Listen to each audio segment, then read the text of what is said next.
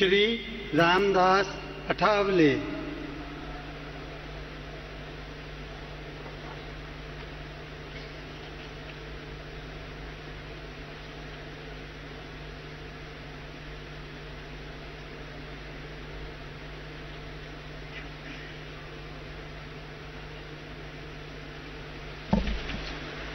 मैं मैं रामदास अठौले सत्य निष्ठा से प्रतिज्ञा करता हूँ कि मैं विधि द्वारा स्थापित भारत के संविधान के प्रति सच्ची श्रद्धा और निष्ठा रखूँगा।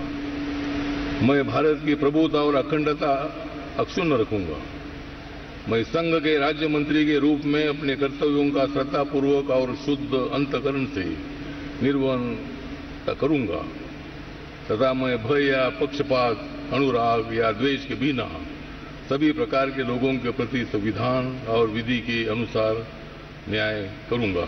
मैं मैं रामदास अठौले सत्यनिष्ठा से प्रतिज्ञा करता हूँ कि जो विषय संघ के राज्य मंत्री के रूप में मेरे विचार के लिए लाया जाएगा अथवा मुझे ज्ञात होगा उसे किसी व्यक्ति या व्यक्तियों को तब के सिवाय जबकि ऐसे राज्य मंत्री के रूप में अपने कर्तव्यों के सम्यक निर्वहन के लिए ऐसा करना अपेक्षित हो, मैं प्रत्यक्ष अथवा अप्रत्यक्ष रूप से संसूचित या प्रकट नहीं करूँगा। राज्य मंत्री के तौर पर रामदास अठावले ने शपथ ग्रहण की है।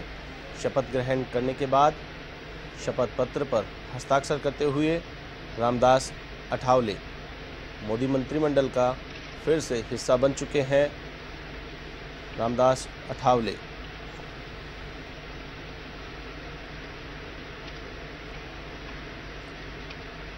रामदास अठावले को मोदी मंत्रिमंडल में शामिल किया गया है।